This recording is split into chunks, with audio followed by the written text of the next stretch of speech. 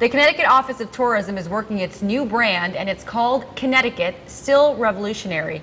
It's a new campaign to boost tourism in the Nutmeg State, and by celebrating Connecticut's revolutionary past, we're all reminded of the revolutionary things that are still happening. Here to tell us all about it is Kip Bergstrom. Good morning. Good morning. How are you? I'm great. Well, okay, let's talk about this. This is a really exciting new project. I love that you're branding Connecticut. It's my home state, and I really like that Connecticut is kind of just getting a little bit of a push there. Yes. So tell us what, what the plan is. Well, we're uh, honoring our past uh, as one of the 13 original colonies, but also recognizing the fact that we never stopped making history. We've been really at the center of virtually every revolution, cultural, political, social, economic that's happened in this country, and we're still making history today. Okay, and so uh, that's a lot of people do appreciate history. I'm, I'm one of those people. However, let's talk about how we could use history and apply it to current day branding and the idea of bringing people into the state. How, how are you using this? Well, uh, we talked to 1,500 folks uh, in the development of the brand, and what they told us is that Connecticut is a place that inspires them that they find inspiration in our buildings and our landscapes and the things that they do here. And it's, a, it's an intimate experience and one that you have to discover. That's actually part of the fun of it. It's hidden in a lot sure. of ways. So we're using the brand to reveal Connecticut, to promote Connecticut. Uh, we were out with a new commercial that you're going to see shortly. Sure. Uh, and we think that uh, from the research we've done, it's largely a blank slate, both for our mm-hmm. residents and outsiders. Right. And we need to change that by aggressively promoting the state. And speaking of aggressively promoting, I do believe our producer's telling us we have a clip up that we are going to go ahead and roll. So let's take a look.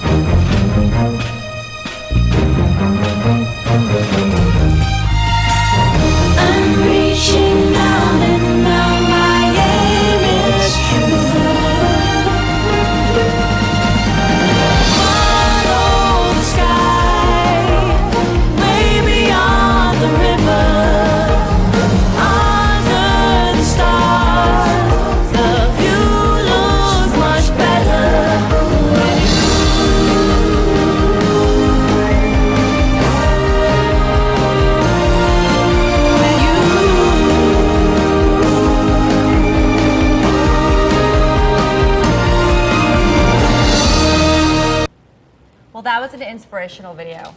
I love it. So what was the idea, the concept behind this video? Uh, several things. One, uh, this is a spring-summer campaign, so we need to show folks having fun in Connecticut in the summer. Of course. And, uh, uh you know, believe it or not, a lot of folks don't even know that Connecticut has a coastline. Really? and okay. so that's one of the things we did. We were showing, in this particular spot, we were showing the coastline. Uh, we also um, have stories in these commercials. Uh, the more you see them, the more you see the story. But the people aren't props. The people are actually in the foreground. There, there's a story to what they're doing. And the scenes are all uniquely distinctively Connecticut scenes. There's nothing in this that was shot anywhere else but right here. I mean, there's really no need to, and I love the fact that you really are bringing up the shoreline, a, huge attraction to people, uh, all times of the year, really. It's, just, it's, one of those things that people just enjoy, the water, uh, the Atlantic, of course, uh, different uh, kind of climate. And uh, now our producer's asking us to just, let's discuss the music, too, that you chose for this piece. It was composed uh, for us. It's an original piece. It was performed by the Hartford Symphony Orchestra mm -hmm. and by a student at uh, UConn. Okay. Oh, it's great. So everything right. is just uh, homegrown. Everything is homegrown. I love it. I love that concept, and I really appreciate that, Kip. And so, uh, a couple of let's, uh, you know, yesterday I was talking to somebody, and I always like three tips. So really quickly, the three. I know you can't pick three, but three places in particular that are must-sees for Connecticut. Oh, wow. You've never been here before, gonna, you're going through, just pick three. That's going to get me in trouble, but uh, the, we'll, we'll trouble. the scenes that we uh, focused on in these commercials are sort of iconic. One, one is uh, the Mystic Aquarium, okay. one of the best in the country. Uh, and we have a shot of, the, of a beluga whale kissing the girl in one of the print ads, -huh. and, and, it's, um, So that's one. And the Mystic Seaport? Right, of course. Uh, gonna America's gonna go with Museum of the Sea. I love it. Okay, I've got to cut you off, but I'm going to go with the third because we talked about this earlier. Mark Twain House. All right. I loved it, and thank you so much for joining us, Kip. I really had a good time. Connecticut rocks. My home state. You got to come and visit. Be sure to log on to WTNH.com and click on Good Morning Connecticut. Find out more information on what to enjoy in Connecticut. I mean, I'm kind of just And come to our myself. open house next Saturday. That's All the next Saturday. attractions are free or discounted. That's right. Thank you so much.